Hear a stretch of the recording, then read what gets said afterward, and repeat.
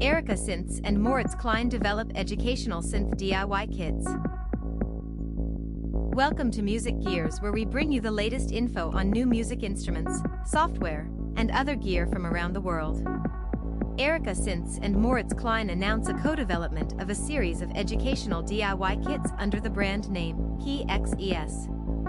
EDU with one specific goal in mind, to teach people with little to no prior experience how to design analog synthesizer circuits from scratch. In total, nine kits have been developed so users can create a fully featured modular monosynth including a sequencer, a VCO, a wave folder, a noise slash S and H module, a mixer, a VCF, an envelope generator, a dual VCA, and an output stereo mixer with a headphone amplifier. Additionally, an affordable Eurorack case with a DIY PSU will also be available. While these kits are easy to build, no compromise was made on design and functionality.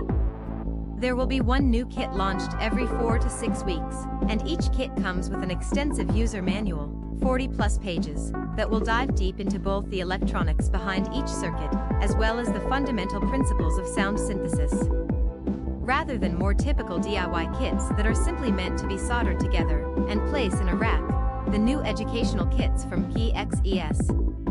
EDU are meant to take users through the entire circuit design process step by step, so every choice is made clear on how it impacts the finished module. The developers hope that the new PXES EDU project will inspire future engineers and will contribute to the ever-growing diversity of electronic music technology. For more information, please visit the Erica Synths product page, www.ericasynths.lv. Please like this video if you found it helpful, and if you'd like to stay informed on the latest in music gear releases and limited time discount offers, please subscribe. Thanks for watching.